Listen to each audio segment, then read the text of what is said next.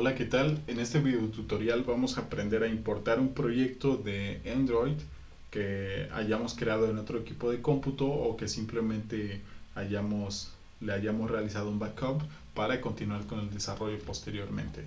Entonces el primer paso es ubicar nuestro archivo, esto aplica tanto para Windows como para Linux, incluso Mac. Y lo primero que tenemos que hacer es ubicar el archivo comprimido. En mi caso lo tengo aquí en escritorio, es este de aquí. Vamos a descomprimirlo y lo tenemos dentro de, esta carpeta. Aquí está. Algo importante aquí es que la ruta de la, del proyecto no debe tener espacios en el nombre de las carpetas. Esto nos generará una advertencia y posiblemente errores en un futuro.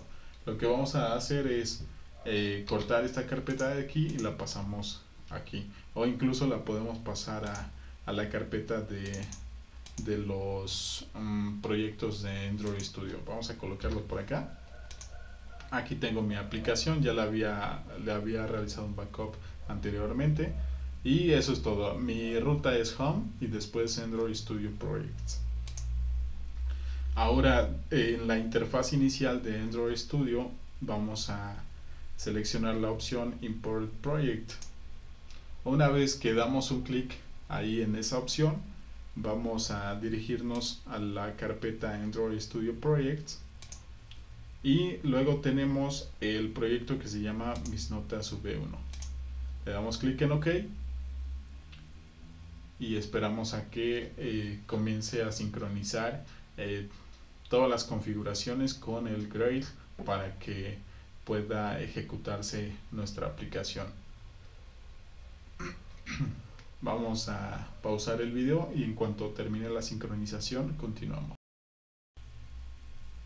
En este momento ha terminado la sincronización y si verificamos la estructura del proyecto ya tendremos todas las clases y todos los archivos XML de esta aplicación que comencé creando en otra computadora y que continuaría aquí en este nuevo equipo.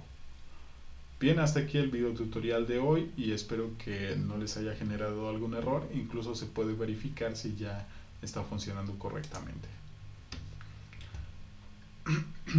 De esta manera podemos importar proyectos en los que habíamos descontinuado su desarrollo o simplemente estamos pasando de un equipo a otro.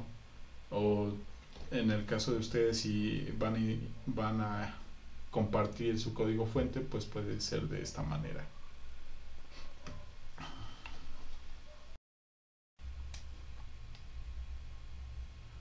Aquí tenemos ya la aplicación.